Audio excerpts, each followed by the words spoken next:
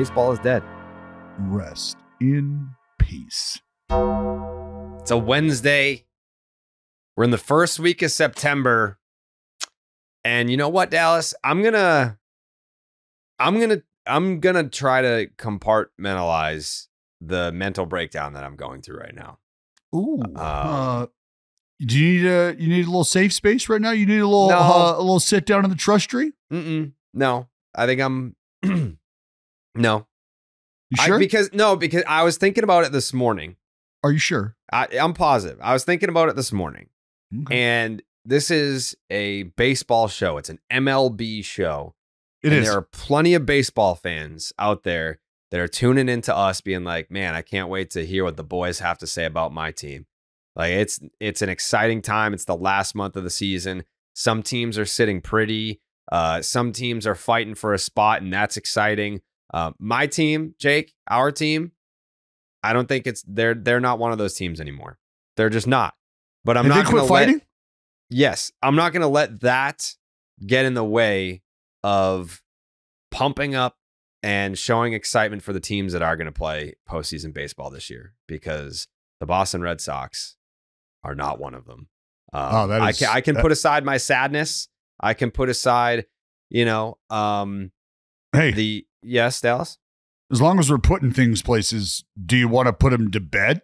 Is it too early to put him to bed? I mean, you can put him to bed and you can just move on with this. And I say this with all the love in my heart, Jared. Yeah, If you can find that place right now, if we can Mhm. tuck them in, right? They got their milk and cookies. They want some milk and cookies. Give them their milk and cookies Yeah. and put them to bed. And then we can just move on, right? Like you can just, you can take that breath. It's that relief. They're in bed. We've got the Netflix. We're ready to go. Like we can, we can do that. I think Did you see that tweet last night? By the way, the, about the can put 'em to Netflix guys. yeah, where They just stopped. they stopped showing up like a month ago. They're like, yeah, you know what? I think we've got enough here. I think Yeah. we've got enough. Uh, the band is still playing, but uh, we got a dinghy on the other side of this thing, so we're gonna go ahead and jump off now. Yeah. You keep playing though, and uh, I heard it's cold. Hold your breath. Maybe you'll catch a door. Maybe there's room on that door for you. If not, hang with them. Hey, if that ain't the best testament to how long of a grind 162 is, huh? When Netflix taps out, they're like, "Fuck, Yeah. can't." do Camera this, crews like can't do it. Yeah. I ha- I had 83 games in me. Jay, I just, it was. just want to know the deciding process of like why the Red Sox. It, was it just because they said yes? Like I would imagine that if you are a really good team and you know that like this year is championship or bust, like let's say the Dodgers or the Yankees, for example, like both those teams were all in this year. I don't know that I would want to add the distraction of a Netflix crew following me around all year. Whereas the Red Sox were thinking we need all the positive PR attention we can get. It's only going to make it worse once it comes out Is- because it's is- just Is that the case? Did, they feel that way? Like it's it's. I don't Yes. want to say it's tough for me to to look at the Red Sox as a franchise that says to themselves, we have to do some sort of like promo for what we've got going on. We have to. I don't know, like we have to church it up. We got to put lipstick on this pig. Is it they're really doing a, a, Section pig? 10 night, Dallas. I mean, is that more of a testament of how far maybe Section 10 has come as opposed No. to how far down the No, I- ladder? I think that was more of like a man, we really need to get some good faith back with the fans. What what what, what can we do that'll make them happy? Because this team is not going to make them happy in September. And that's honestly right. But you know what? Uh, Underdog Fantasy is making everybody happy. It's not just about Red Sox fans. It's about everyone. It's about baseball fans. It's about sports fans. And MLB season, uh, Underdog Fantasy wants to make it a lot more interesting. And Underdog Fantasy is the easiest place to play fantasy sports. Playing their pick'em game is as simple as selecting higher or lower on player stats, strikeouts, total bases, home runs, and so much more. You can make entries of all baseball, or you can mix and match across your other favorite sports. You can win up to 100 times your money, and it's a ton of fun. It's about that time, Dallas. Uh, when's week one start? Uh, what do you mean, week one? Uh, tomorrow. Tomorrow's Oh, wow, night. really? Oh, yeah. Wow, football. Oh, It's back, yeah. baby. Yeah, It so you can mix and match with uh, your NFL, your MLB, whatever tickles your fancy. And the best part about it is when you sign up with the promo code Jared, J A R E D, you can get up to $1 thousand in bonus cash and a special pick on underdog. That's underdog fantasy promo code, Jared. Um, yeah. So I, to to answer your question, Dallas, I'm not ready to put them to bed only because of how bad the Oh. Royals and Twins have been. Also, but I mean, the Red Sox are not. They're one game above 500 now. They're they're they're if they get swept by the Mets tonight, they're back to 500, which is fucking crazy for a like a decent chunk of the season. They had the best record in the American League, the best record in baseball. So to be in the first week of September on the precipice of going back to 500, it's I don't want to say it's unfathomable because it's you know I'm not like shocked by this, but it's just very deflating as a fan to to kind of have that roller coaster of a season. Yeah. I mean, when you put it in perspective, it is it's it's kind of brutal because think about how much we've been talking about the downturn of the Seattle Mariners. And as it sits right now, you're just a half game ahead of the Seattle Mariners in the pursuit of that that outside wild card spot, right? I mean, the Mariners are five and a half out. Yeah. Red Sox are four and a half out. And we're talking about a team in the Seattle Mariners Tigers Who- caught us. I mean, the yeah, the Tigers, the Tigers. We're we're talking. We, the Oakland A's, are talking about being spoilers right now because we've got teams rolling through town who are vying for these spots. And Jared, it's funny that you talk about what isn't happening for the Red Sox right now because that is a narrative that other people are noticing as well. There's a reason the Seattle Mariners came into town fairly excited about what they had ahead of them because they thought they were going to be rolling up on an Oakland team who was just going to roll over and ask to get their belly scratched. Well, that ain't fucking happening because they got bitch slapped twice in a row. Back to back nights, they got left with their dick in their hand on the field. And the Mariners looked at that series as an opportunity to close the gap. Why? Because the Red Sox are shitting the bed. And here come the Tigers. So things are getting interesting. But everyone, I don't want to say everyone around the league because I say everyone and I mean just the folks I've talked to with, with Seattle here at times. But even when we were in Texas, it's not like the Rangers had any, you know, delusions of grandeur, thinking that they were creeping in anywhere. But they were like, man, the Red Sox, things are not going well. I wonder what that race is going to look like. These teams that are starting to pick it up, Jay, like the? Tigers. The whole conversation, you guys ended up touching on almost all the teams that I was going to bring up, but it ju- it just strikes me that it's a real commentary on how long the baseball season is and how crazy narratives and storytelling can get as it relates to teams because you guys brought up the Red Sox and Mariners that for various reasons have definitely been teams that have been on the mention list, right? For the 2024 season, the let's talk about them, what's going right, what's going wrong as they surge forth. They are basically in the same spot as you guys mentioned with now the Detroit Tigers and the Tampa Bay Rays, who have been outscored by 65 runs this year and have basically at no point been considered, I mean, maybe at points a fringe wild card team, but Yeah. like never a contender. And the Tigers were put in the rearview mirror in that in that perspective a long time ago. Uh, once the three other teams in the Central sort of separated themselves, and like it just strikes me that th- th- those four teams have functionally ended up in more or less the same place. Uh, you know, with 15% of the season left to go or whatever it is. I don't know how interesting it's going to get, really, because I think the you know the team that they're trying to catch currently is the Royals, and They know, can't I- play worse than this. no, they can't play worse than this. They're still four. They have a four and a half game cushion, and I, for my money, they are still the best team of the five teams that we are discussing, uh, so to speak, in in this grouping. Uh, and I would say the Twins are better than these teams too. So they they have both a lead uh, and, in my opinion, a superior roster. So I don't know. Maybe these teams will change the order that they find themselves in currently, but it would surprise me a little bit if any of these teams made a real substantive push for the wild card uh, over the final few weeks. It is getting pretty dire in the AL. The Royals Well, have lost just- seven straight baseball games. Uh, the Red Sox have lost four straight. The Mariners have lost four straight. Uh, the Tigers have won seven of ten, so that's how they caught Boston. Um, but the Twins have lost uh, six of ten. Like it's it's crazy. Like the American League wild card picture sucks. Like the Royals were, I thought, the one team that was kind of um, shit streak proof, but they've proven to have the shittiest streak of them all, at least recently in the last week or so. But yeah, It's happening at the right time, though. It's happening at the right time. If you're the because no one Kansas else City is winning Royals. games. Simp and that and that right there like if you're ever going to assess a losing streak and look for a silver lining, that's the silver lining, right? That's the silver lining. I will always go back to the Dodgers and the Giants race a few years ago. What are you going to do if the other team is winning games? You got to win games. When can you lose a game? When the other team loses a game. And that's it. I know it's simple math, but when you say it out loud, it sounds even sillier. But that's the reality is if you're going to play terrible baseball based on the other teams that you're contending with, this is the best possible time you could have played the worst baseball you've played all year because everybody else is trying to figure shit out right now too.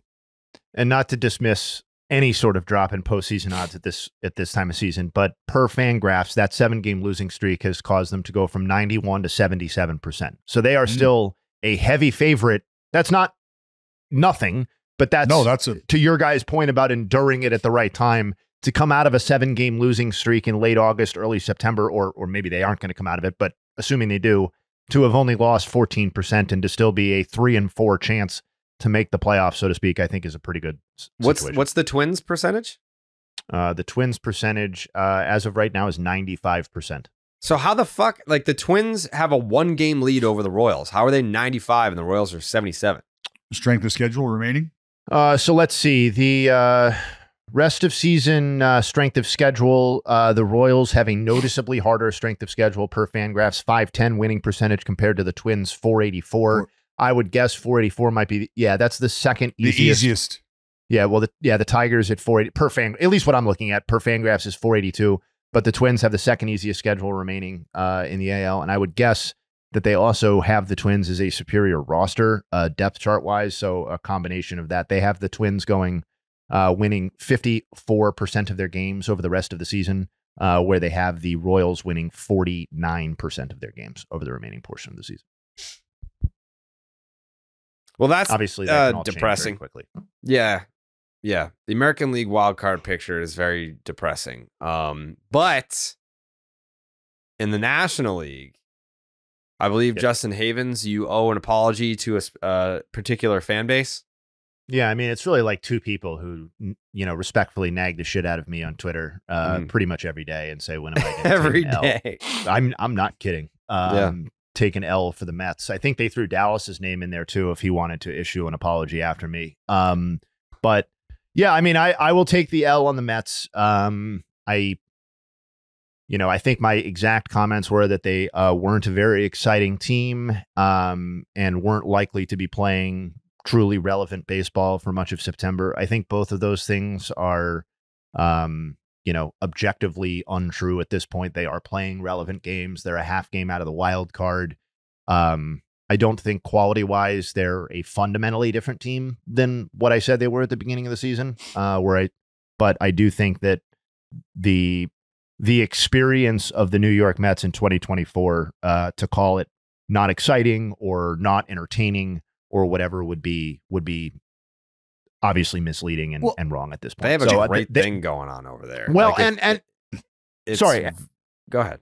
No, the last thing I want to say was is that I do think at some point it transitioned from being a sideshow entertainment value to real on the field baseball entertainment because they've been involved in a lot of high stakes, high leverage games, uh, particularly of late. And we're not we're not talking about Jose Iglesias's concerts. We're not talking about Grimace. We're talking about the fact that they're a half game out of the wild card and nine, uh, 11 games over 500. Um, which I have to think is a high watermark uh, for them, riding a six game win streak. So, like, you know, I, do, I think objectively they've become more interesting for a non Mets baseball fan.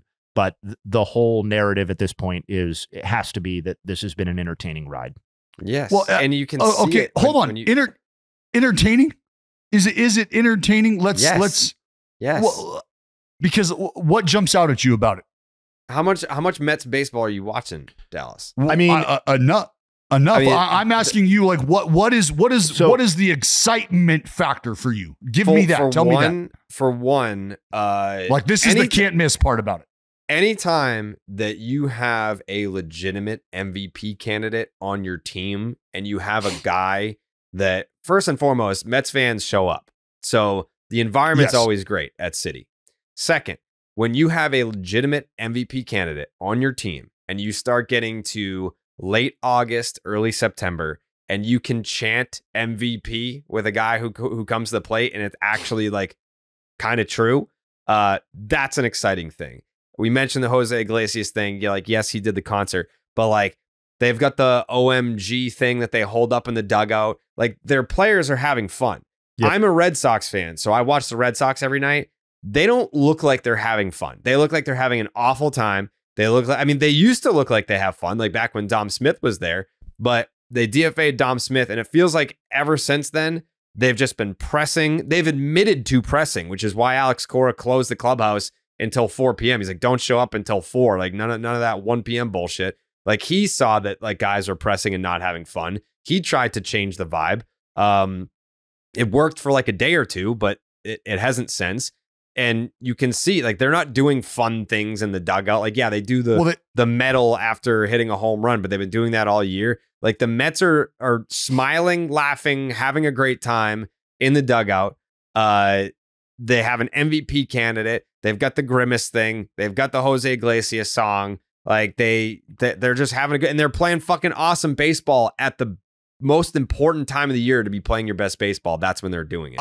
I, I would I would say uh, like zero pushback on the on the Lindor aspect of the excitement, but that I think is my whole perspective. That's my point. Is okay outside of that, like like for me, like and we were joking about it. Like I get it, the gimmicks behind the grimace thing, and and just you know creating a positive environment, a fun environment to come to work in and to pursue what it is you're after. I, I can appreciate that, but I think it's more about getting performances in the second half from guys you expected to get performances from that you're now getting. So I don't know that there's a like like for me, I guess maybe I'm processing the word excitement differently because I think there's a level of expectation that we have gotten away from with the New York Mets where because they're playing good baseball and maybe it wasn't that way early, it's like, "Oh, wow, what a great story. What a Well, remember, this was a team that fancied themselves competitors regardless of what Max Scherzer had to say about what the future was looking like and what he was told. This is a team that still felt like we can Yeah, play. but to me, yeah, but to me, that's moving the goalposts a little bit because to say like you know expectations have changed for the New York Mets. If this is what we're accepting is exciting or entertaining baseball, that's fine. Like in the big big picture, like yeah, I wouldn't want this to be like the best long term version of the Mets, but like, and again, you don't have to ride with what I'm saying, but like my point was is that I I thought oh. this is going to be a transition year with a minimal amount of entertainment value and where is this thing going? And like yes i'm glad i mean obviously jared was and you guys were going to talk about lindor. That to me is the overriding factor and it like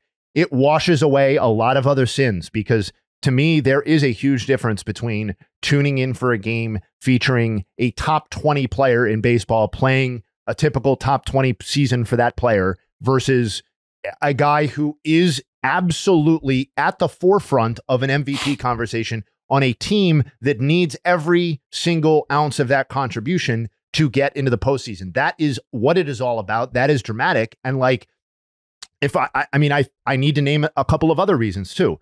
We're talking about a lack of young players on the team. That was something that I talked about, or a lack of young players that looked like they were going to blossom and contribute. I think Francisco Alvarez was the guy that we identified, I identified as being the most interesting person by that description on the team.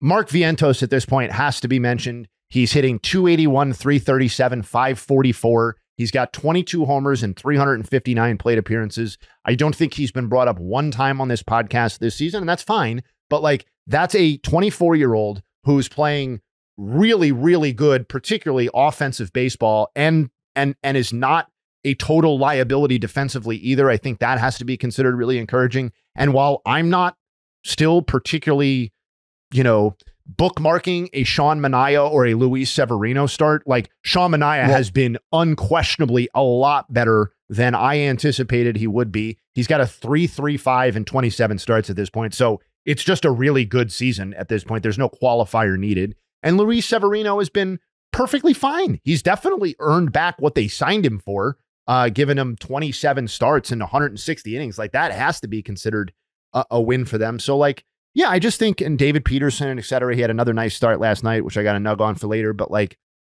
well, yeah, those two I- I- dudes, it's wrong, those two man. And like, dudes- those those are the guys that I was talking about the like the second half performances right there. Well, I mean, P- Peterson you, you look at his numbers, and I won't throw any numbers out there if you're gonna if you're gonna go on and dive with him later. No, it's just go Um, ahead. Go ahead. It's not deep. It's just yeah. Go ahead. Well, no, just the um what his last seven starts, the sub two ERA, uh, you know, overall record win loss. You can do with that what you will, but the fact that they're winning the baseball games that he's participating in, the games that he's starting, um, he did join a club, punched out eleven on his birthday, which is pretty cool. One of twenty four people to ever punch out double digit guys on his birthday. Um, but I think those are a couple guys right there, like Manaea. Mets in the second half 26 and 18, fourth in baseball, 140 extra base hits. That's good for seventh. They've hit 22 go ahead homers. That's second behind the Dodgers, who've hit 23. The 3.59 ERA is fifth. The starters ERA at 3.72 is fifth. The 246 and two thirds innings from their starters is second to Kansas City. And the pin ERA is 3.35.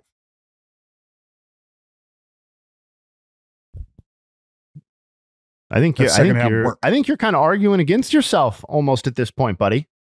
I think you're. no, my, uh, my no, the the excitement fact, like because for me, watching Sean Manaea have a good second half, it's not like that. There's been like you know like the big 14 punch out performance. Like I, I have no problem admitting that I was like uh defining excitement differently because I, I think to the point of having somebody that is garnering the attention that Lindor is,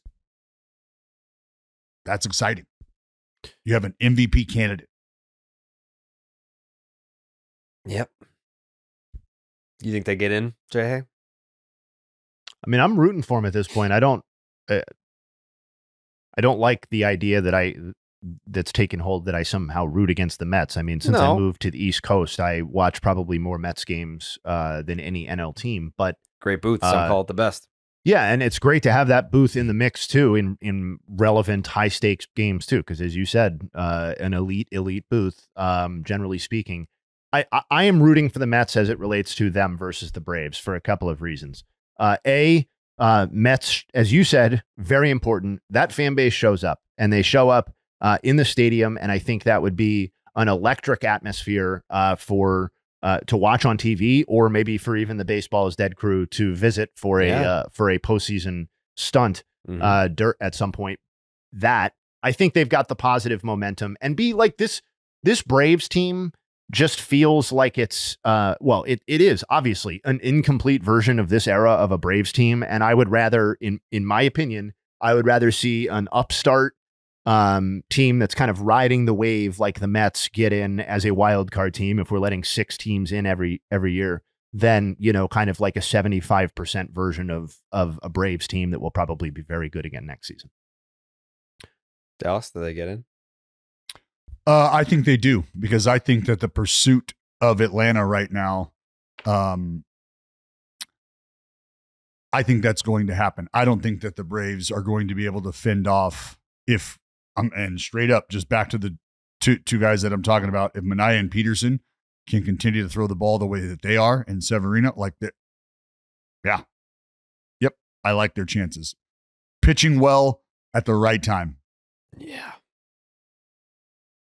Helps when you run up against the Red Sox. and You have a lefty. I mean, it, like, is there any concern about like I, I know we've talked about some of the guys offensively. You brought up Vientos. Um, we've highlighted the Lindor MVP campaign. McNeil has swung the bat well during the second half. Is there? Uh, what about a pickup by like Jesse Winker pickup? Winker? fucking awesome. Yeah, Oh, he's been Like- great. He's hitting over 300 the second half. Like he's got like almost like a 400 on base. yeah, he's he's doing well. So like as far as the are we okay with what that is? Is that enough offense? Um, uh, I think I think what they really need is Pete Alonso to be Pete Alonso. Like they need. I I- I think it's great what Lindor is doing, a resurgence year, an MVP caliber season. But at the end of the day, the star of the New York Mets is Pete Alonso. And has it been a Pete Alonso type season? No. Um, is it a wash? No. Like he's it's. I I think that if if he and he homered last night, if this is a guy that gets hot in September into October, he's the type of guy that can make a huge difference for them. Whether it's you know, hey, we accomplished our goal. I know that no, everyone wrote us off. No one believed in us. Also, another guy uh, that's on paternity leave right now, but JD Martinez has been there and done that offensively uh, in the postseason. So but does it you have, concern you if? Go ahead. Go ahead. uh, the the trio of Lindor, JD, and Alonso? That uh, on top of their game is that enough to get the Mets uh, a, a nice little run in October if the pitching lines up? Yes, I think so. Yes. Well, that that that's the question. Is because right now it's JD and Pedro's performance sort of on paper, right? You got to get JD back into the mix, and then my question is: Is Pete Alonso contributing the way he is right now? Should it not get any better, but not get any worse? Is that enough during a postseason run for Lindor and the weight that he's carrying to get the Mets over the hump? Um, are we totally recalibrating the expectations? Because the no, answer no, is not yes. at all. Not at all. Okay, so the answer is yes to, for me. If the question is, is this a good enough offense for them to get to the postseason? Yes.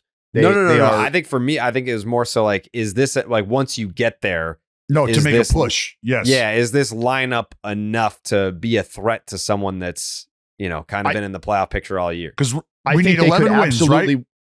I, I mean, they could win a playoff series uh, with this offense. I don't think they're making a like a run to the World Series with this team. I don't think that's necessarily an offensive problem, though. Um, to me, I would still go back to the likelihood of a rotation fronted by Sean Manaea and Luis Severino and David Peterson guiding you to a World Series. That doesn't feel like something that's likely to happen. I feel like this offense, they're scoring at the same rate in terms of runs per game as the Royals, the Red Sox, the Padres. Like, th- th- this is a good enough offense. Um, I just don't think it's, I don't think the team as a whole is a run to the World Series type of team. But maybe I'll have to apologize for that too in a, in a, in a couple, in a month and a half. Hmm. Either way, That would be cool It'll- if I had to do that, by the way. it will be a fun run. Yeah. Uh, half game out, the Mets. Half game out, heading into play tonight against the Boston Red Sox, who uh, uh, have completely mailed it in. Well, you know, good run there for a while. Um, if anybody's looking for a pick me up, though, Red Sox or Mets or otherwise, make sure to sign up with the code Jared to get up a thou- up to a thousand dollars in Mhm. bonus cash and a special pick on Underdog. That's Underdog promo code Jared. That's right. That's right. Thank you. Um, last night, Clay Holmes, walk off grand slam, Wyatt Langford.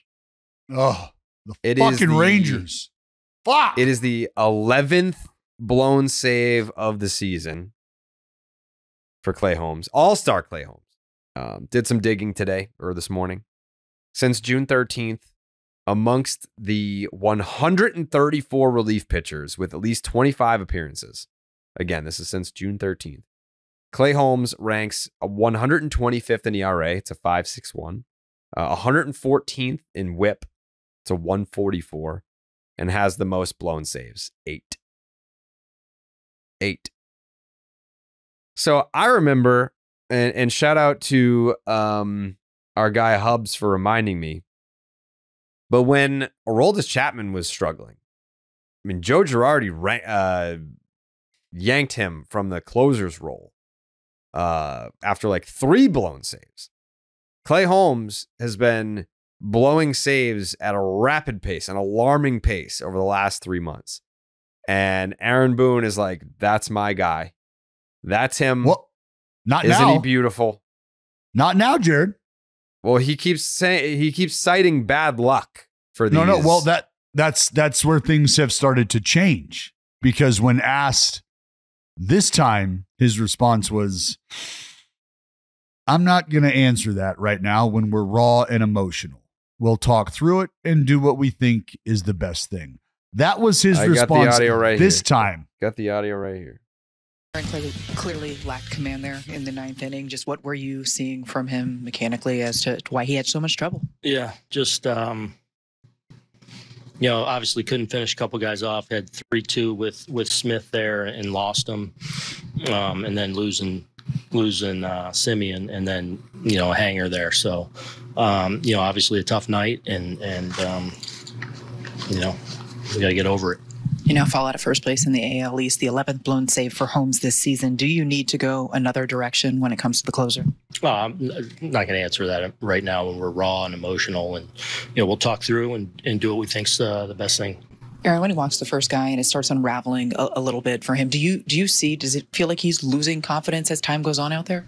No, I, you know, there's been times like that in past years where I feel like he's gone through a weak stretch where he's kind of struggled mechanically. I, I don't feel he's had a lot of those stretches this year. Um, you know, tonight they they you know they they got him. You know, you know, a lot of the times where, you know, we, have lost out there, it's been you know soft contacts, beating them. You know, obviously that wasn't the case, I walked two guys, and and obviously Langford put a real charge into one. So, um, you know, we gotta we gotta you know make sure he's good and and uh, and and make sure he's he's good. You know, uh, I think he handles all this very well, um, and he's tough minded for it. Um, you know, but but obviously, you know, some tough ones here of late, and you know, we got to support him and and make sure he's um, right and a big part of what we're doing back there.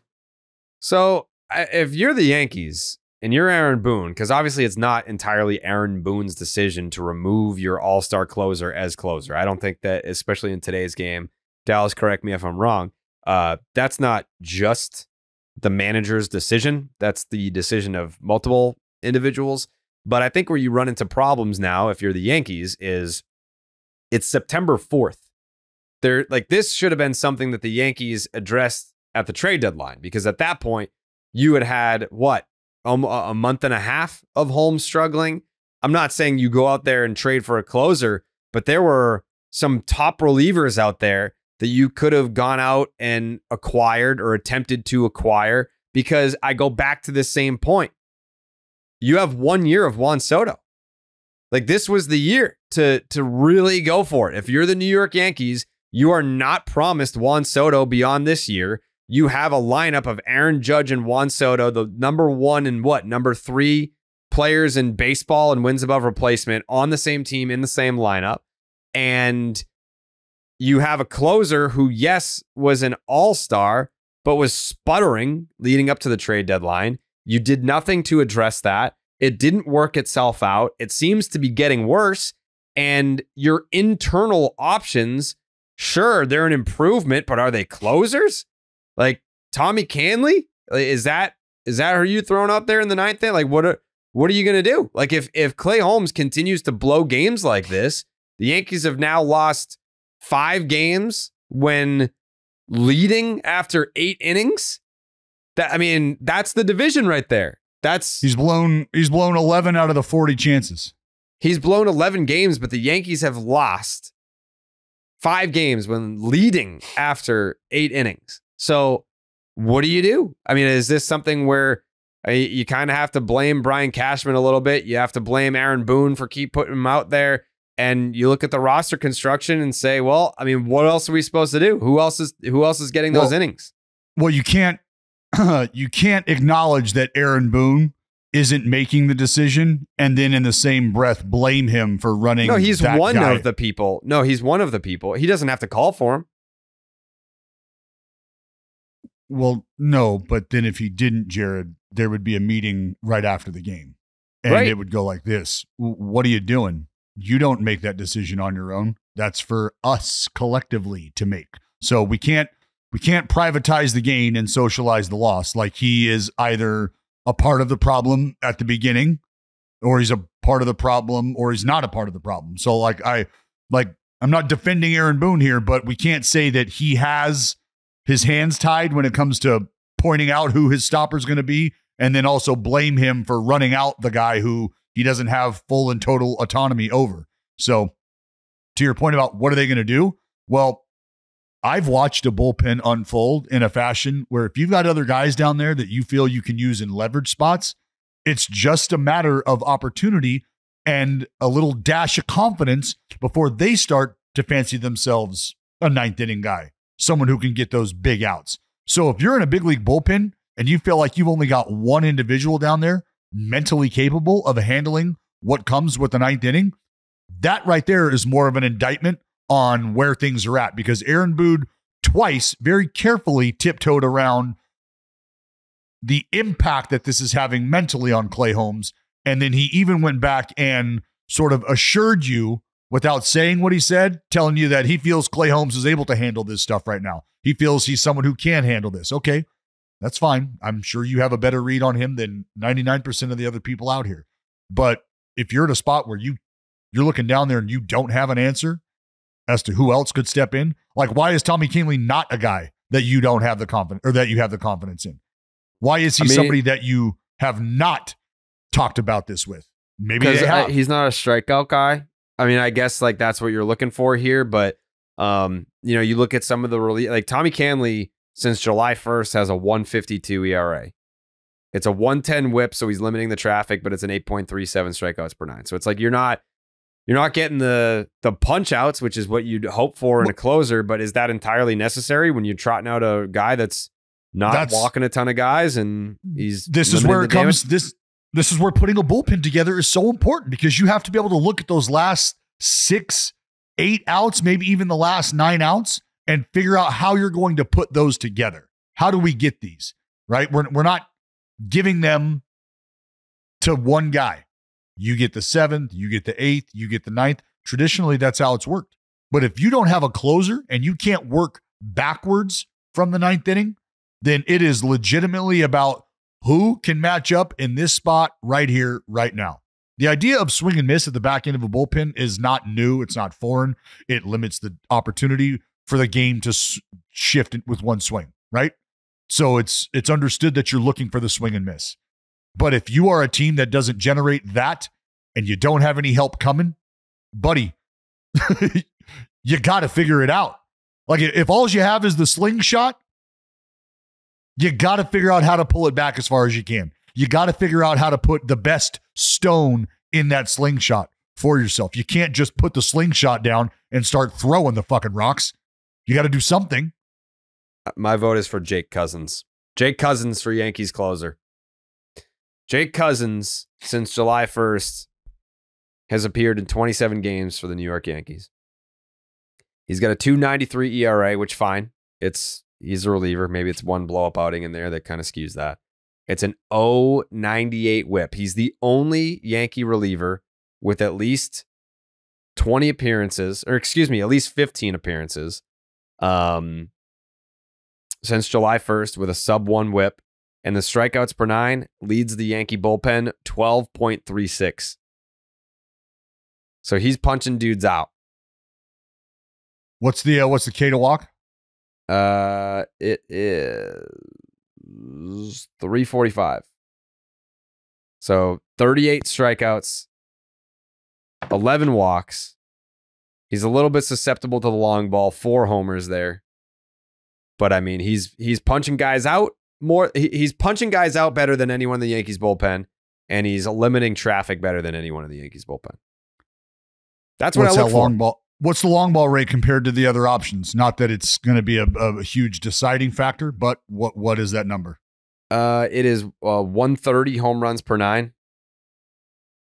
So you're looking at Kahnle 076, Hill 031, Weaver 165, Holmes 086.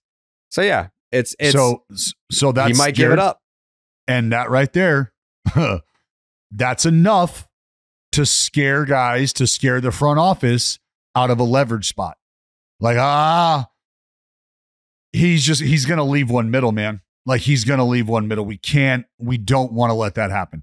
And it's not to say that he'll never have that opportunity, never get that shot, but that is a real concern.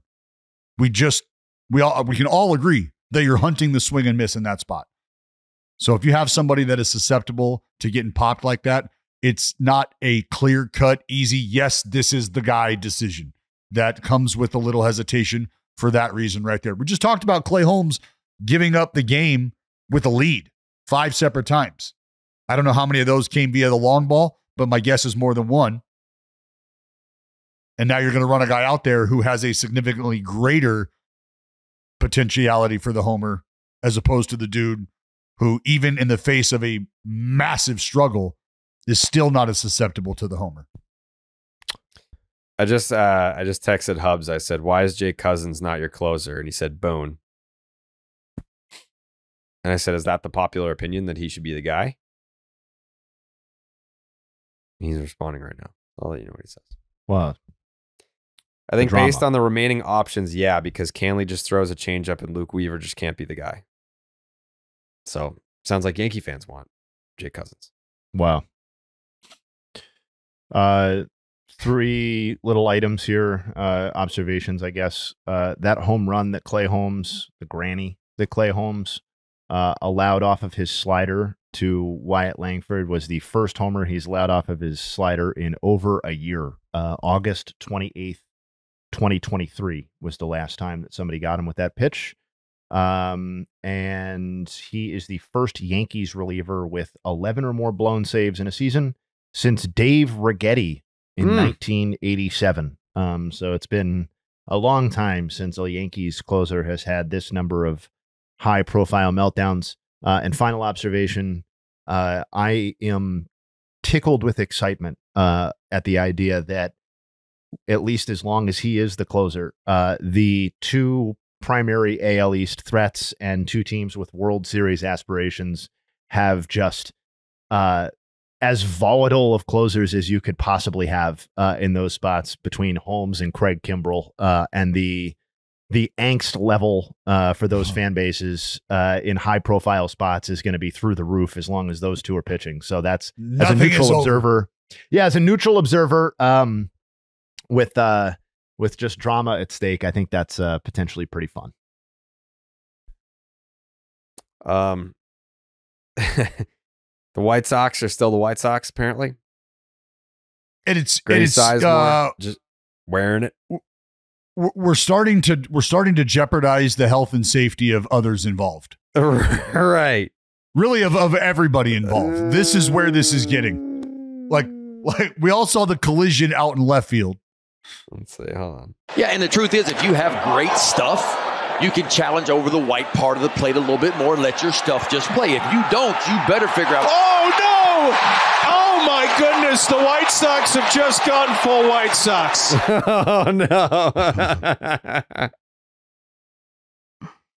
Oh man. There's a ball hit down the left field line. Three three fielders converge. No one makes the play. Two men are down. It's uh I mean, one who was the player that was just writhing in agony? Like he got fucking squared up. Like he ate that shoulder. Fucking ate it. Because um, he hit the, he hit the ground and was like there was no concern for the baseball. It was I I might be looking for teeth. yeah, that's that's pretty bad when you Google who is number 20 on the White Sox and Google's like, I don't know, dude. uh that was Miguel Vargas, who has been the saddest player the entire year. Every time they show him, he's super sad, and now he's he's got to be super sad now. Damn. Yeah. How about how about the interaction uh at home plate with Grady Sizemore? He was Who- who getting was into it. We don't see uh, we don't see managers get that animated anymore. Well, the ma- manager I mean, whoever that home plate umpire was, he was giving it way back to him too. He, he didn't back down at all. It was They were- Wendelstedt, wasn't it? Oh yeah, yes. they were Yeah. going nose to nose there. Oh, when Wendelstedt like said, "Have you dropped an f bomb on him?"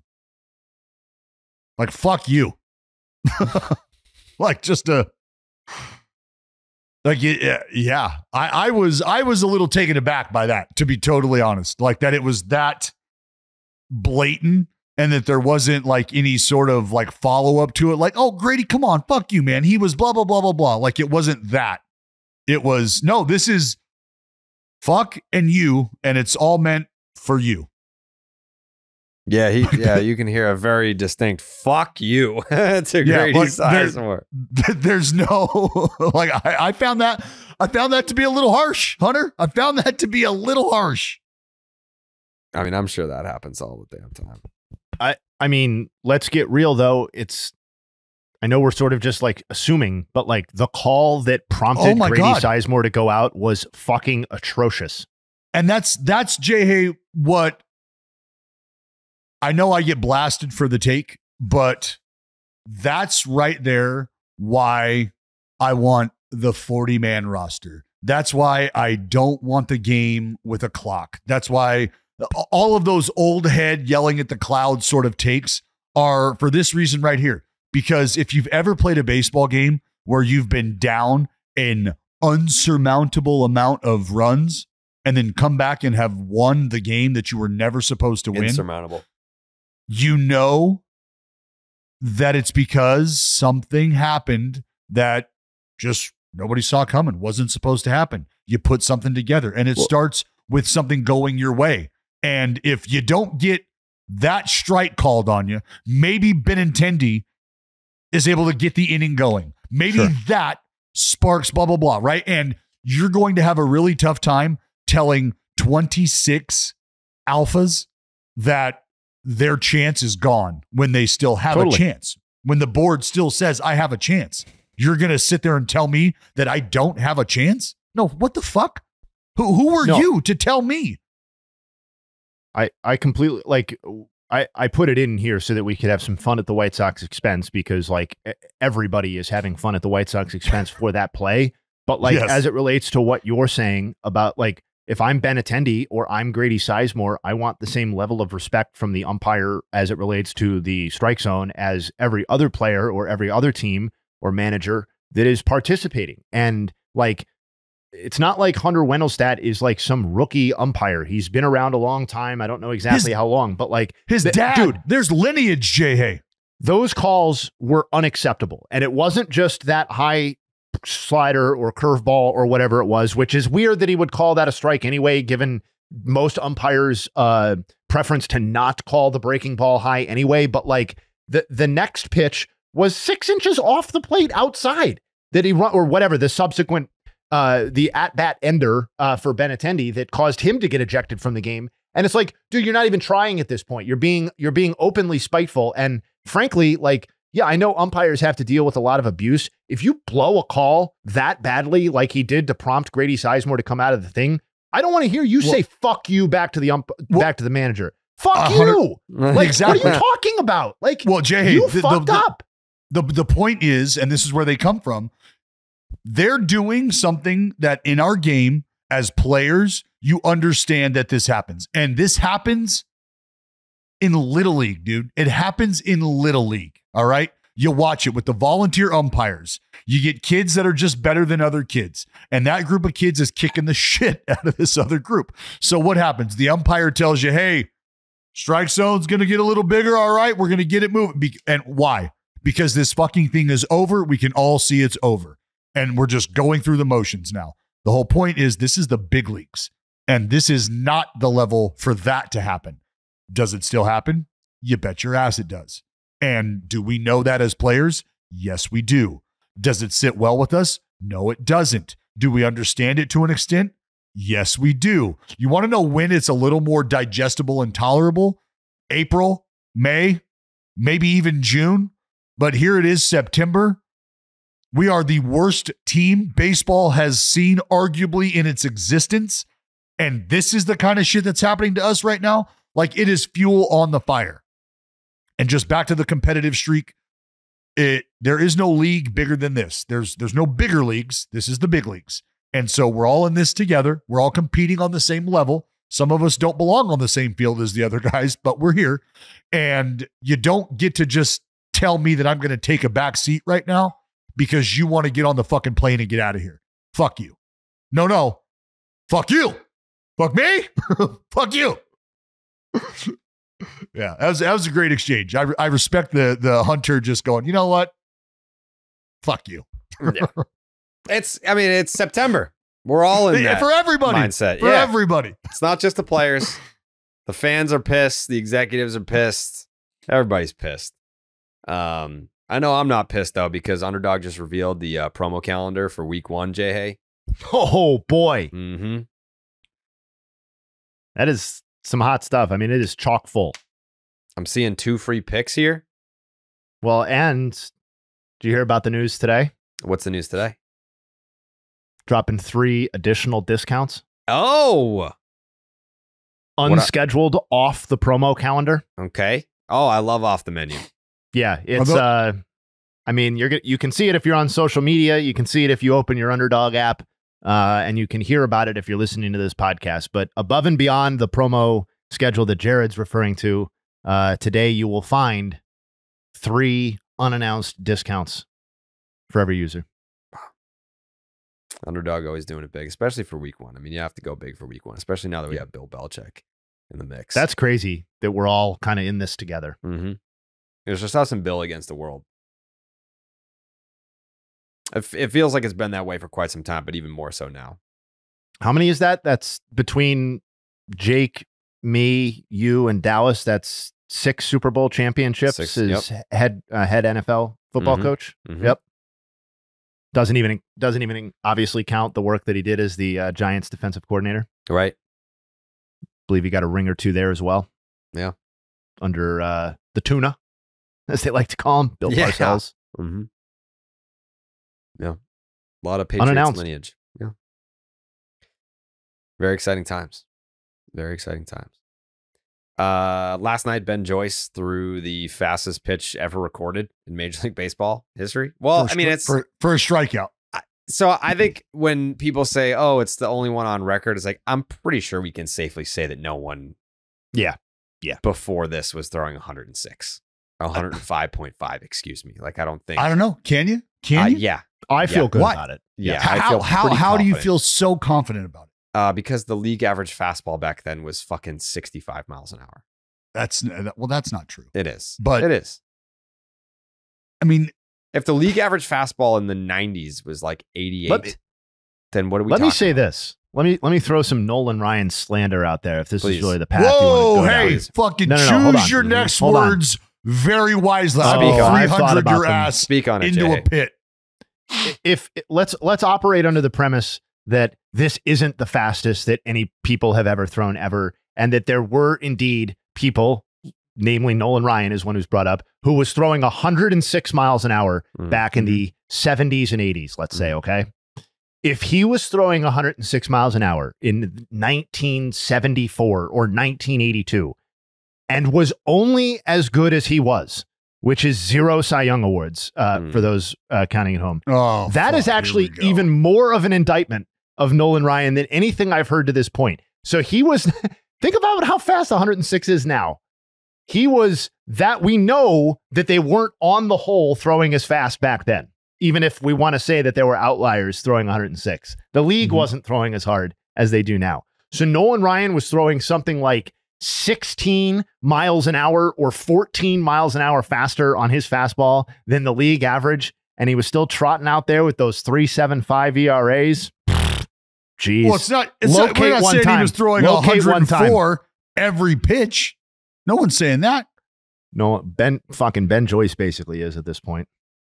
He's he is it, it every fucking time I look up, it's it's a 102. 102 is the entry point.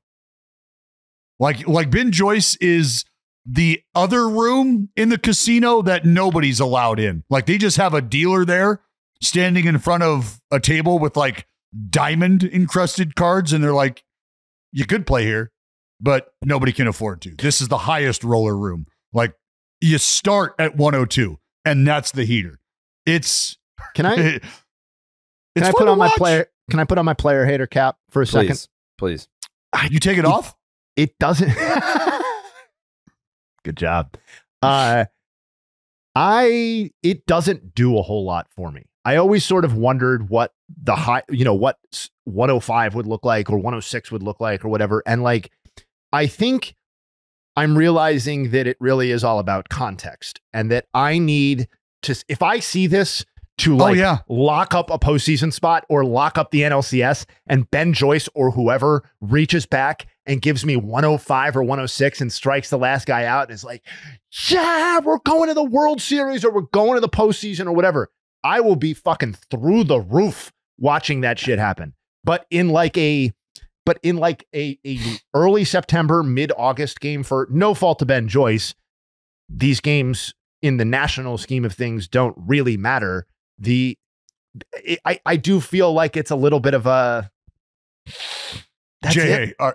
That's so, it. so so listen, I'm I'm I'm so glad that you brought that up and it was said in this way and that you said what you just said before it about it not doing much for you and the context and everything and and I truly feel this way about stuff like this uh, and it has nothing to do with oh you didn't play so you don't know I've had guys come up to me uh, and talk to me about their at bats against Mason Miller facing Mason Miller because I've got a little project we're working on and they have mentioned specifically the focus of the at bat feeling like a postseason experience because you got to lock the fuck in. If you are not locked in, the at bat is over. Oh, You don't have a chance. If you're not taking this at bat like you would take an at bat in October, you don't stand much of a chance. If you're just willing to give away a slider, or that could be your life. It's fucking done. Absolutely over. So the excitement that I think comes with that, there's a there's a level of that, and like our radio guys, they have to go down and get an interview right after the game. So sometimes they're not able to watch that that half inning.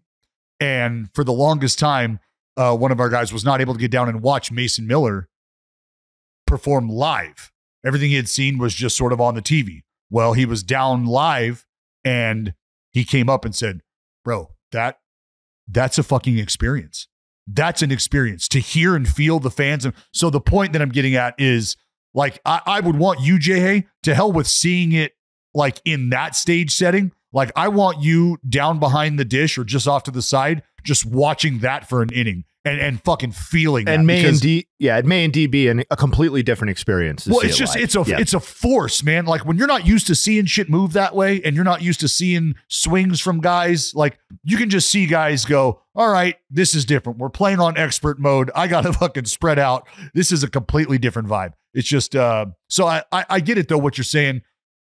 Like ah, well, how exciting is it? You know, it's 105. Okay, I've seen hard pitches get thrown by guys, but uh, just the the weight of the dominance, and I and I think you're right. I agree. If we're bringing home a ring and it's punctuated with 107 by a guy, fuck yeah. I got the pitch that Papelbon hit me with was faster than any pitch Babe Ruth ever saw in his entire career. it's true. Shut up. That's true. Do we know how fast that pitch was? 90. That's true. He still he still got 90 in there in that arm. yeah. It's pretty impressive.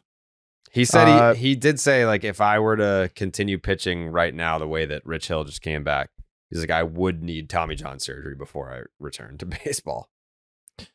Uh, yeah, that makes sense. Hmm. You know what else makes sense? What? Making sure you sign up with the code Jared Yeah. to get up to a thousand dollars in bonus cash Yes. and a special pick on Underdog. That's Mhm. Underdog promo code J A R E D That's right. Jared. That's right. Uh, earlier in the program, Justin Havens cited that Phil, uh, excuse me, Citi Field would be a great place to go for the postseason.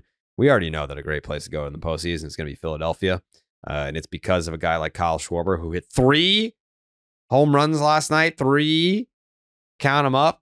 And you know we've we've kind of highlighted Kyle Schwarber a little bit before this year about how he's not having your, um, at least recently prototypical Kyle Schwarber type season uh, hitting for a little bit more of a average.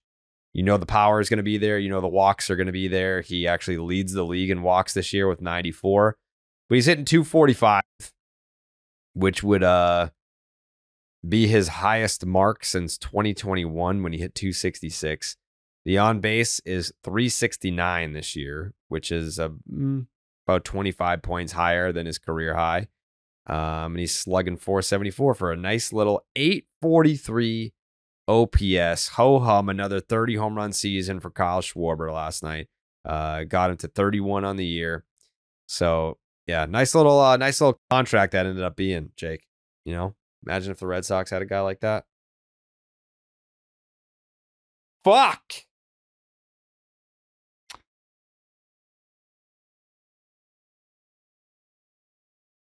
That's You fine. got Triston Casas. You're fine. Yeah, yeah, yeah. I like Triston Casas. Could have both of them. Yeah, you definitely could have both. Nothing preventing you from having both. I would agree with that statement. Kyle Uh, Schwarber, second player in Phillies franchise history to have a five hit game with at least three of those hits being homers. So this just this wasn't just I'm going to get up there and I'm going to sock three homers. Mhm. This was I'm going to put together a five hit game, and three of them are going to be homers. Uh, the only other person who's ever done that in Phillies franchise history is Mike Schmidt in Mm. 1976. Yeah. Michael Jack. Only the greatest third baseman of all time. No big deal. Michael Jack. Well, this rundown feels intentional now, Jake, because the next topic is Chris Sale secures his eighth 200 strikeout season. This feels intentional. I Um, promise it wasn't, man. I just mm, go. oh. I just go for the stories. Yeah, you yeah. know? Yeah, big story. Kyle Schwarber, three home run game last night. And um, Chris Sale struck out his 200th batter um, for the Braves. That's awesome. I just, yeah, I know you don't want to dwell on it, so I'll just drop a nug and we can move on. We've done the whole Chris Sale thing. I know you're happy for him. I am. Uh, you don't, yeah, you don't need to, you don't need to uh, sell it. I believe you uh, for what it's worth. Eighth 200 strikeout season. Uh, that is tied with Steve Carlton for the second most 200 strikeout seasons ever by a left-handed pitcher ever. Eight 200 strikeout seasons. Uh, the only person that they are behind, and they are behind quite a bit. I would give Chris Sale a better chance to catch him than Steve Carlton. Uh, but Randy Johnson has 13, 13. such seasons. Go get him. Go get him, Chris. Only You need just five need more 200 more. strikeout seasons. Uh, good luck to you. That is dominance. I mean, With, front with runner. each and every start, it's the, it's just that much closer to the Cy Young. That's really what's going on here. front runner. Sorry about it. Front runner. I mean, could you imagine a Red Sox team right now with a perennial all star like Mookie Betts to build around a guy like Mhm. Kyle Schwarber dropping bombs the way he oh, is, don't and do a guy no, come on. a guy ready to win the fucking man. Cy Young at this Mhm. stage in his career. There's no way three players of that ilk could help a team like the Dude. Red Sox right now. Mhm. dude. It's not. It's it's nut town now. Okay. Um, It's about Nuttown. Cr- uh, one final thing on Chris Sale, 2.03 ERA. Uh, and FIP actually says he's been unlucky because he has a 163 FIP over this stretch with Oh. 93 innings pitched and only 75 hits allowed with 124 strikeouts over his last 15 starts. He has not allowed more than two earned runs in any of those 15 starts.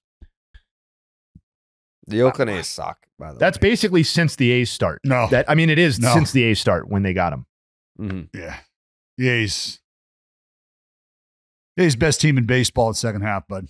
Yeah, but it's a, it's a whole season type That's game. all right. Yeah, That's right. suck. We like to we like to split our seasons up in in parts, Jared. Mhm. We like uh, I'm just know I'm that's- just I'm you know more that that's how thinking- baseball is looked at, Jared. It's looked Yeah, at in, in but, parts, right? I mean, you were talking big dates. picture with the Red Sox. I'm just saying big picture the A's suck. No, big. No, I was talking about big picture. Wouldn't Yeah. you love to have these Yeah. things that you have talked like, about? You're missing. The whole And that would- season that would be know, no the whole season for the like, A's. dating Not back like like, a few years. Contextually, years nope. as no like a suck. whole. If, No if it wasn't for that A's start, Sale would have a real shot at a sub two this year. Mm, yeah. hmm Yeah, they had Told a you so. game. You did tell us. I think that that might have been the last time you were right on this podcast. That's Mm. crazy. Told you. Yeah, team Oof. Sucks. It's a long time ago. mm-hmm. that was June Right a first. lot. Yeah. Damn. So you took all of July and August off that, and really most of June, I guess. That's crazy. I don't No, even know remember if I July and August when I was telling you about what Lawrence well Butler and Brent Rooker were doing. Yep. Start practicing by removing the Oakland part, just calling them the A's. They I are. don't. I don't want to. Check the wanna, schedule. I don't want to slip up in the future and Check the schedule. call them Oakland. You know, that would be a mischaracterization. Of The uh the team's location the team that's located in Oakland right now. right now. Yeah. Yep. Yeah. Game Time has a new feature called Game Time Picks that makes getting tickets to your favorite live events even easier. Game Time Picks filters out the fluff to show you only incredible deals on great seats so you don't have to waste time searching through thousands of tickets. Uh, I know that like the whole thing with Game Time is you're supposed to wait or you could wait, get the best deals right up until first pitch. Um, but I'm kind of like starting to itch about playoff tickets. Like I want to make sure that if there's going to be um a rowdy host city that we're there. I know we're going to be doing streams and whatnot for the wild card round, but once that division series hits, I want to be Mhm. in the house, Jay. I want to be in the house. Hell yeah, man. Yeah. Well, we got a got a lot of good ones potentially with Yep. not not that far away. right. Um, the New Yorks, hmm Philly, Baltimore. Baltimore would be great. I would, I would, I would lean towards. I know you, you want to experience. I mean, I, I'd be happy with any of the three, to be honest with you. But Baltimore, Oh, would yeah. be cool too. Because I've done Philly. Not that I wouldn't want to do it again. Oh, I I've never been to Camden Yards. So that's Oh. that that would be a huge uh check off my list in terms of getting all all the ballparks done because That's that's beautiful. That's yeah, that's an unacceptable one to still have on the docket. And I've been to Philly for a playoff game. So uh, while I would love to be back, uh, especially in this new era, this the Bryce Harper era, um, I have technically experienced that before. So we, I think all of those would be great though. Well, no matter what, we're going to be using Game Time to get those tickets. Uh, the Game Time picks curation makes it easier to save more on sports, concerts, comedy, theater. Uh, all in pricing. You toggle that feature and it'll show you the total up front with no surprise fees at checkout. Get a panoramic view from your seat in the app before you buy. The lowest price guarantee or Game Time will credit you 110% of the difference. Your purchase is covered with the most flexible customer service policy in the ticketing industry today. Take the guesswork out of buying tickets with Game Time. Download the Game Time app, create an account, use the promo code BID for $20 off your first purchase. Terms apply. Again, create an account, use the promo code BID for $20 off. Download the Game Time app today. Dallas, what time is it? Game time. It's game time. Uh, I got a question For the panel? for you, For me. for Jake. For the panel. Is there um, is there any concern about the maturity level and the lack of leadership that Oh, could be existent or non-existent in that Red Sox clubhouse? No. No. You call Rafi Devers is the, would you would you consider Devers the leader? No. Is there a leader? Yeah, Rob Refsnyder. And Jarren Duran. Okay, so we've had the Duran incident, and now we have Rafi Devers. I don't know if it's a refusal to address the media or he just He doesn't speak English. Uh, I think the whole thing chose with, not to. Well, that's not true That- either. No, it is. Um, that's like So back in the day on? with Manny. It's like, oh, like Manny didn't talk after the game. Like Manny never talks. Like he shows did the up. front It's like, office? oh, the, the- highest paid player has to be the leader. Like that's bullshit. The highest paid player doesn't have to be the leader of the team. Rafael Devers is not. He's he's the I guess the face of the team, but he's not the leader of the team. He just shows up and he hits homers. That's what he does. He's never been a a media guy. I think the people that are talking about Rafael Devers not answering questions last night, it's the only people that are complaining about that are the writers themselves because they had to stay an extra hour waiting for him and he didn't end up answering any questions. Those are the only people that care about this. I don't care about this. He's never been a speak to the media guy ever. that's I, that, that's why my question is simple. Mm-hmm. There's no string attached to it. Mhm. I'm just with the things that have gone on in Mhm. the clubhouse and seeing this and hearing reports that you know ownership has also not been happy about it for a while i asked the question is there a maturity or lack of No. maturity issue in the No. room and no, he does that he play posts- into what's happening He plays hurt. He shows up. He fucking had his best year this year. No, there's no. Who cares if he talks? Manny never talked. He was the highest paid guy. He was paid to show up and hit. That was his job. That's Devers' job. Show up and hit, and he does it. Like they, there, there are other guys that are going to stand in front of their locker, and like Xander Bogaerts used to stand in front of his locker every single loss and answer questions, even if he wa- wasn't his fault why they lost a game. Even if he had four hits and the Red Sox lost, there's Xander talking after a loss. There, you just Do have you- those guys, and and Duran has been that guy, really. Um, so yeah, it's not Devers' job.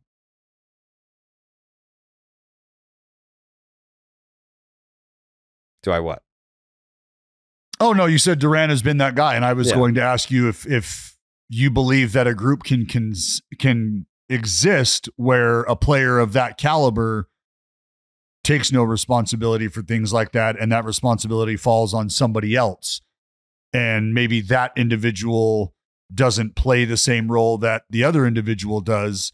And at times, if one person is responsible for the messaging of the group, there could be a time where that message wasn't the message that this individual wanted to be out there or wasn't delivered the way and then there could be conflict. And and it's like well why do we have this conflict? Well we have the conflict because i'm the only one who's willing to answer questions.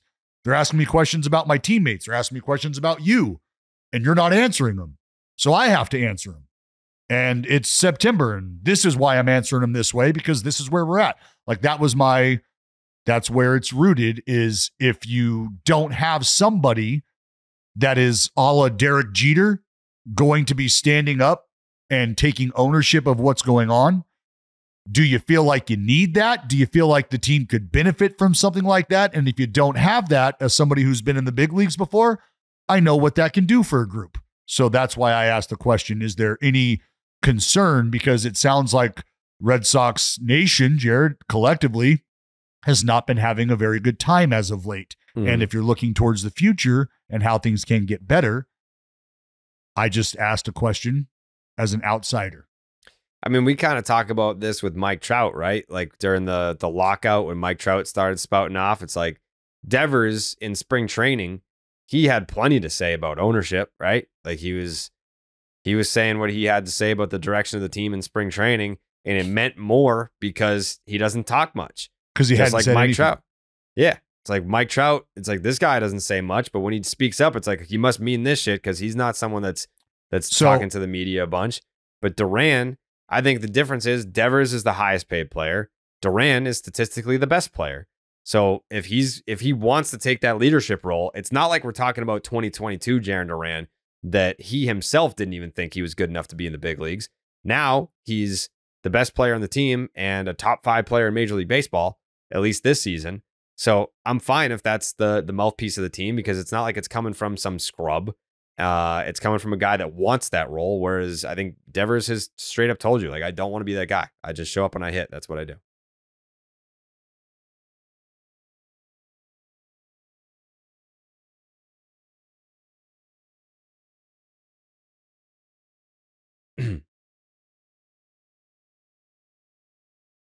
Anyways, thank you for asking.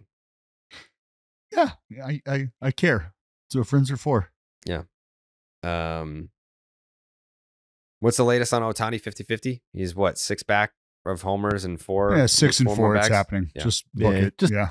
Threw a casual three stolen bases on Monday after we recorded. No big deal. Mm.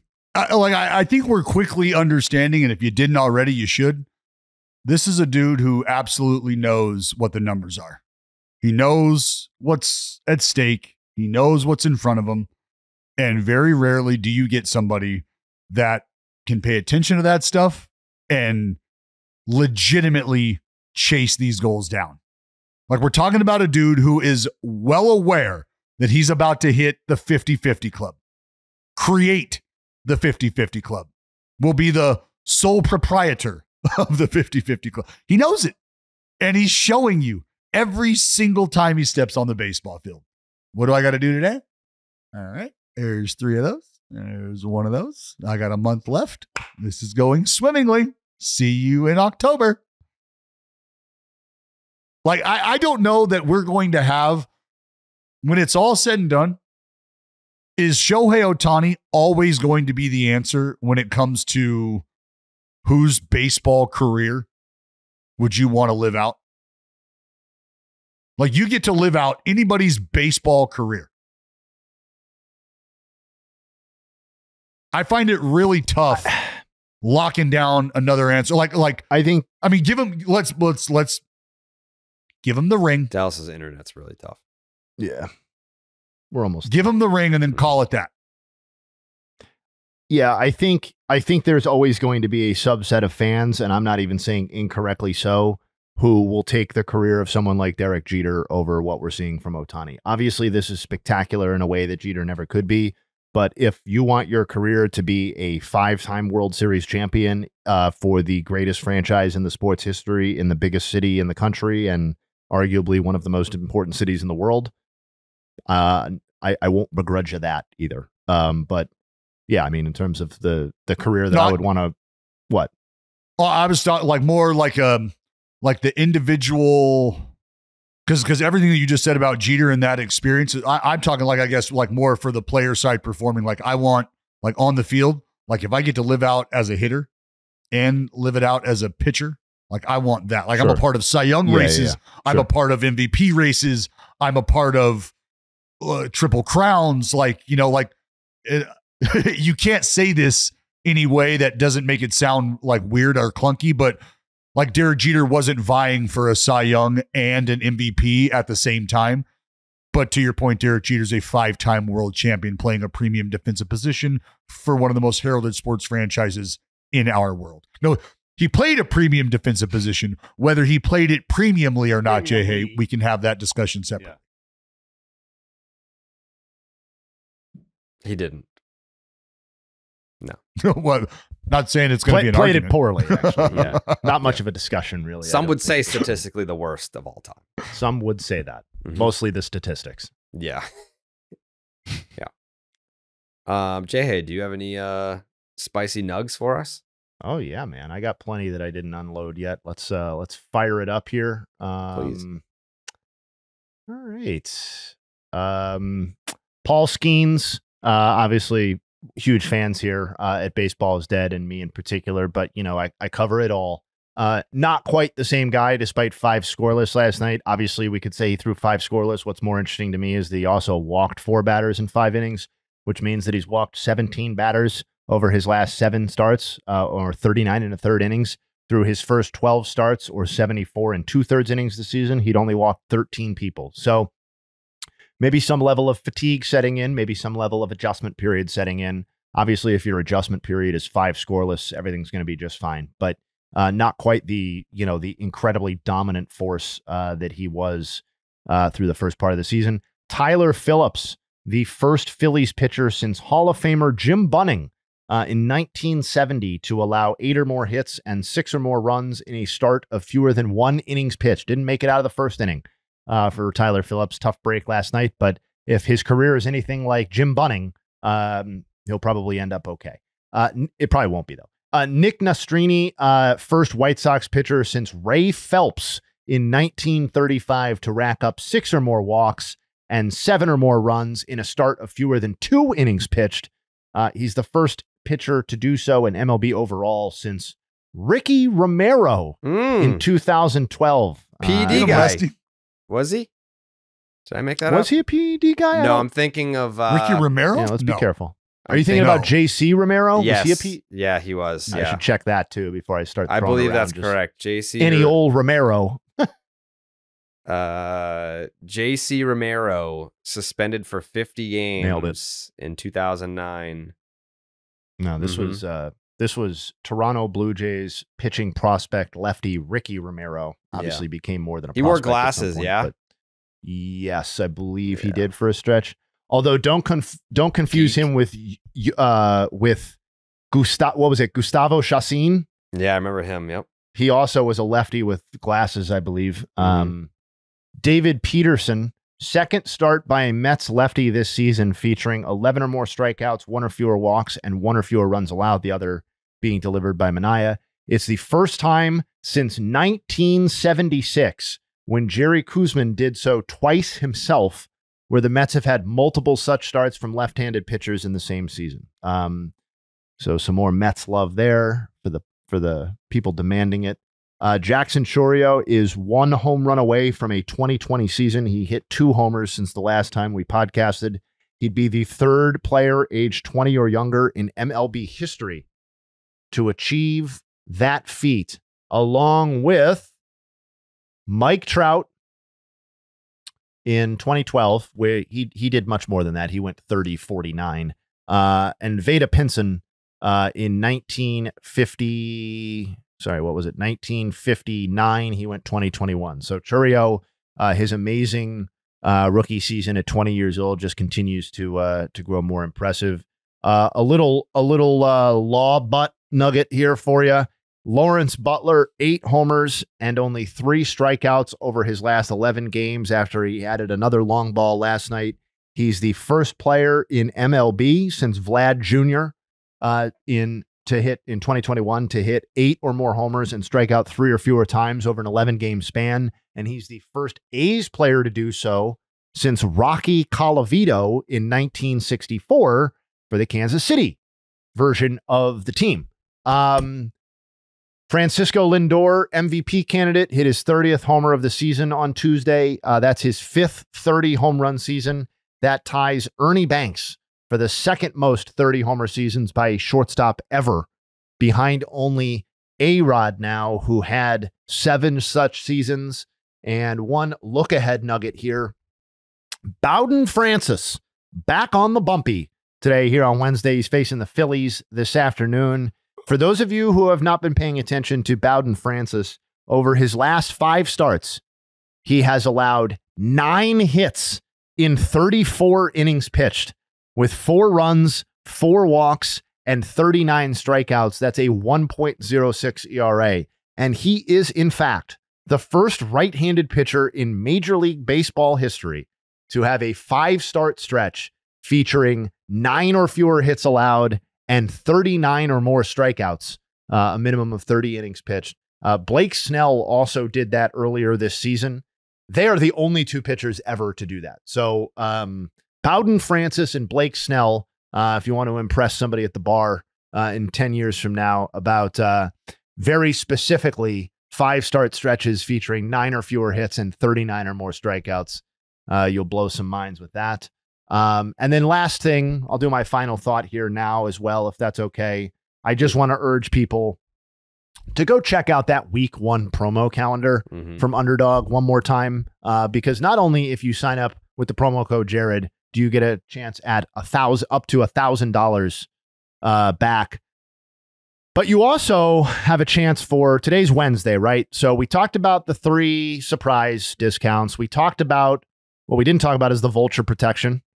Tomorrow with NFL kickoff, you get a 30% profit boost token for the NFL. On Friday, it's Packers Eagles. Got a mystery promo drop in there. Don't want to miss that. Saturday, college football week two. You know what happens there? Four college football discounts. Did he say four? I said four. Mm. And then Sunday, week one. And oh my gosh, it's a DAC free pick. Dallas, that is right up your alley, baby. So uh, obviously, Dallas will want to check that out, but so will everyone else. And those are my final thoughts. Wow. Uh, Dallas final thought? Um, yeah, my final thoughts are going to be a little girthy than usual. Um, we can start with uh the Nolan Ryan slander is just not going to fly here. Oh, boy. Uh, Mm. science matters, and Yeah, he was definitely you got throwing 106.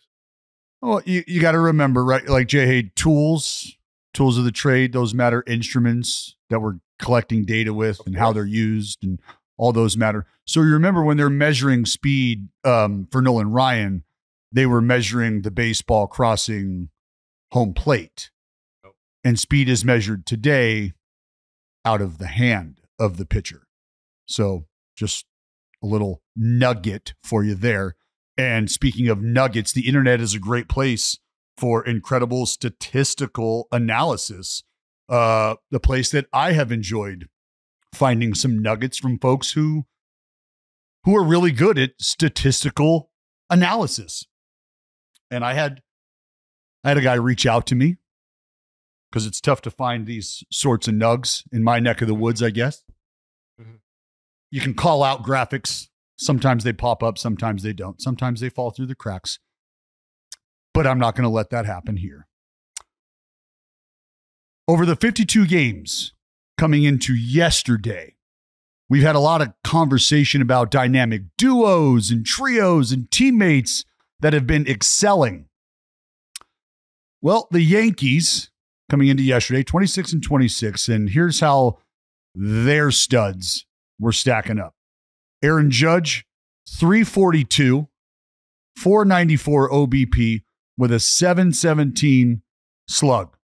41 runs, nine doubles, 20 homers, 42 RBI, and two stolen bases. Pretty good, huh? Well, Brent Rooker, Brent Rooker, he's hitting 342 himself, 419 on base, 679 slug. He also has 41 runs scored. Uh, he's also hit nine doubles. Uh, he has 18 homers, just two less than Aaron Judge.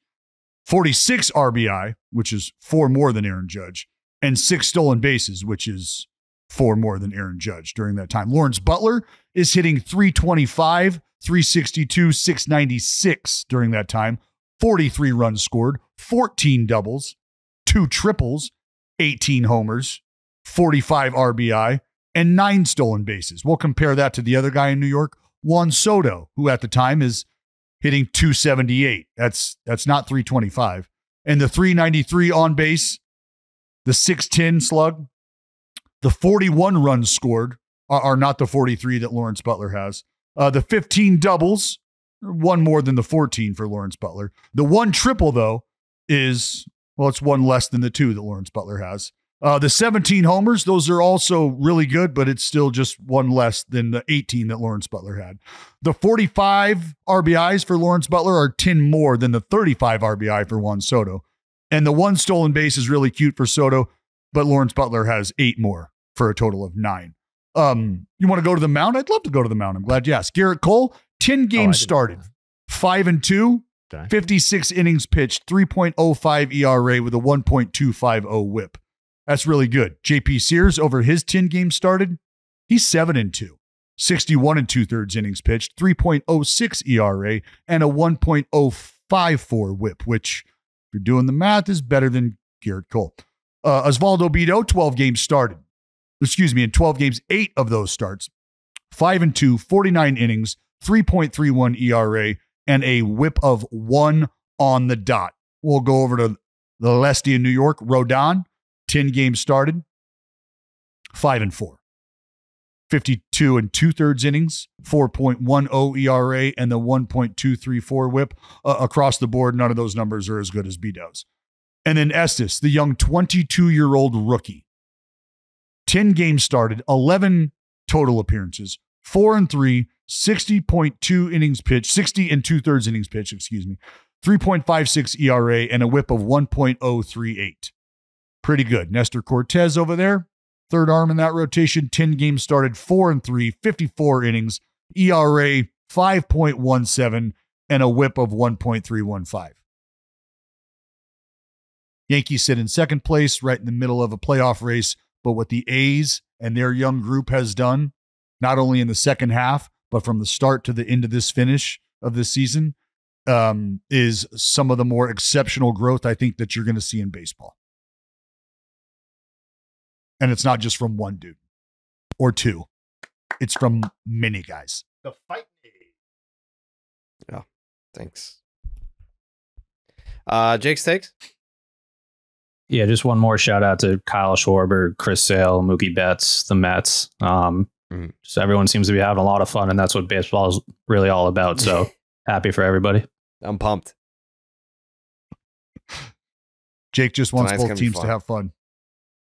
Yeah, tonight's gonna be a really fun episode of Section Ten, especially especially if the Mets keep it rolling too. You know, seven straight wins, maybe get into a playoff spot by the end of tonight.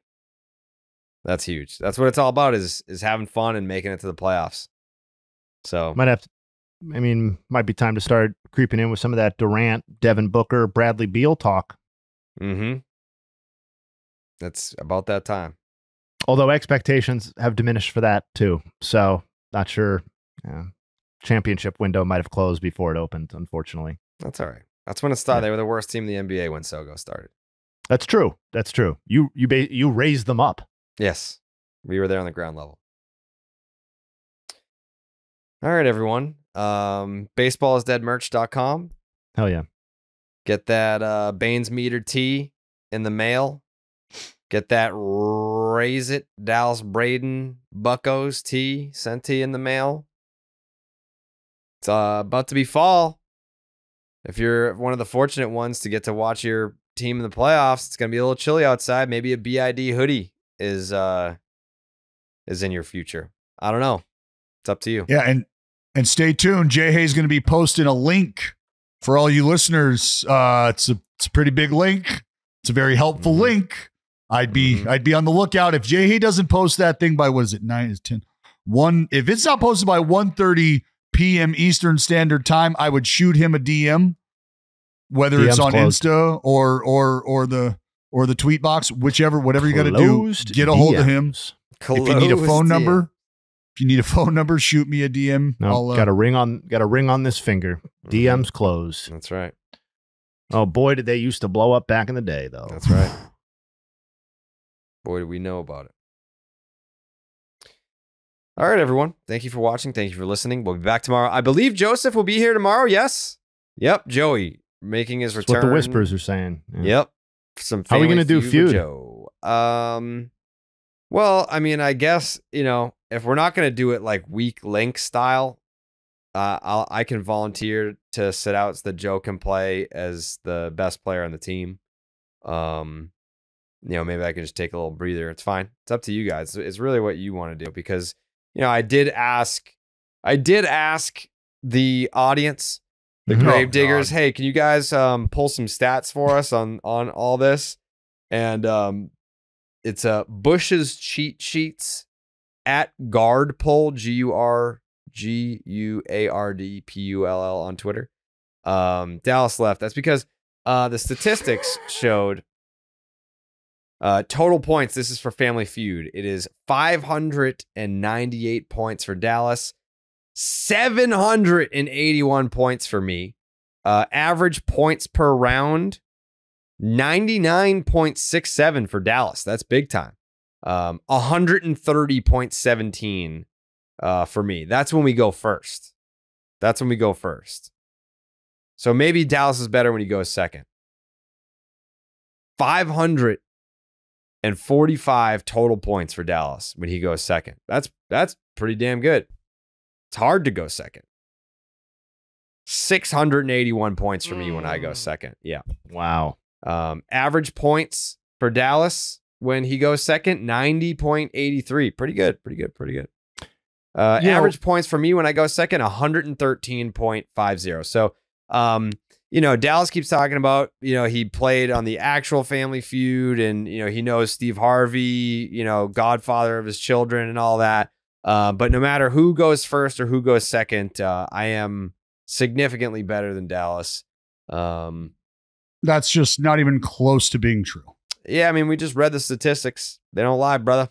Numbers are Uh, numbers. well, yeah, those are aggregated numbers that don't mean much when you start Mm. to think about hmm the value of points and the Right. value of the questions. Like Yeah. you can answer, you can answer one question Yeah. I mean, that you- is worth like 64 points. you start asking questions, and then you like, can what get is life? multiple What are questions points, really? wrong. What is life? Jay, hey, you're done talking Yeah. now. Yeah, so what- it's the numbers that matter, right? So if you I- answer one question and that's worth a significant amount more Yeah. than maybe The three questions that don't get that number. Spreadsheet. Yeah. Well, you see how it's it works. like and it's yeah, kind of like officially. Dallas. and when Dallas's we're answering questions like, "Oh, worse. who's your favorite But- guy with two ears that has thrown pitches in baseball?" I die, buddy. back There's on one of us- uh, There's one of us that's a champ, and there's one of us that will never be a champ. May I- I- That's, that's a fact. is when Dallas had two hundred and forty three.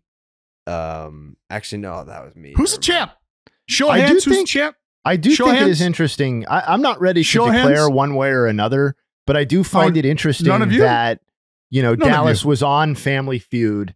Um, But you he's know, not he's even the been best family there, feud player, right? But- the but he The doesn't have the best stats so far. It kind of calls into question the whole, you know, did you play in the big leagues sort of argument? Like, like, oh, have you done this? Uh, I don't know if it matters. I'm not sure if it matters. Maybe this Right. is a sign that if I just if one Coming of us from a guy who can't get a been like, question out in fucking four seconds or less. are you kidding, dude? Every No, I'm not. Hold on. No, hold I'm on. not. Some- No, I'm Discord, not. Discord. No, no, Discord. this is where I'm gonna. This, I Check the said, tape. fuck the rule. I said to hell Someone- with the fucking rule. Oh, the only time the only time the rule has ever been violated is when you can't get an answer out and you start throwing stuff around your house. Somebody on YouTube check the video tape, check the tape. Are my And let us know if the timer has ever run out because I was asking a question, or if the Oh. timer has ever run out because Dallas's brain stalled out. Let us Or know. let's and- let us know this. Has Jay Hay ever stopped using the timer because he knows he's wrong? I don't have control over the timer. Yes, I don't have the control answer over to that it. is yes. I feel like you guys Nope. are really Yes. taking away from my moment here, which is that I'm the best player. I mean, you can go at Jay Hay for long questions. Yeah, it's crazy. and The All the Discord. excuses in the fucking world from a s- dissertations. supposed professional. Yeah, the, After the War of 1812, the main oh, point we of this a- segment was to Whoa, what? illustrate how I am Jay the Hay, best. wake me up when you get done with the question. Wow. Thanks for just classic stealing the spotlight and you making it about me. Yeah. It's not about me. My questions are fine. They're great, actually. I got a lot of praise in Discord. Let's make we can do a whole nother segment about me now. I got a lot of praise in Well, Discord for my questions. Those don't stop, from what I understand. well, they don't stop when we stop recording. That's for sure. We, I do a whole other segment with my family about praise me, praise me. Um, that's good. I'll maybe I'll release that pod someday. All right, guys. Uh, we'll see you back here for Family Feud. Who's playing? Don't know. Don't know. We'll find out Oh, tomorrow. I, I'll tell you what. As you know, what I'll make the decision right now. As the resident champion, and as the only one who will ever Hmm. be a Family Feud champion, I Hmm. officially retire. oh. Oh, so who's going to play on the days? I don't know. You here? guys, I'll find out on Oh, is- Monday. Is I'll Doubt is find out Doubt is on quitting Monday because how he it has goes. bad stats? Is that what's so. happening Oh, here? Yeah. Not at all. No, no, no, no. That's This is this is a Hmm. way for me to I'm going just to get passing on this. Break some news. Dallas retires. Second retirement. Second biggest retirement in Dallas's career. Mhm. Maybe the biggest actually. I'm I not go sure how on much top. fanfare there was when you retired. I from go the out on top. Oh, you went out. Same as for you when you came over here. I think everybody celebrated that, right? You Yeah, hell a yeah. text. Two texts Wait, when I came where? back. Oh yeah, yeah, yeah. That was very exciting. Yeah. All right, we'll see you tomorrow. All right, bye. We don't.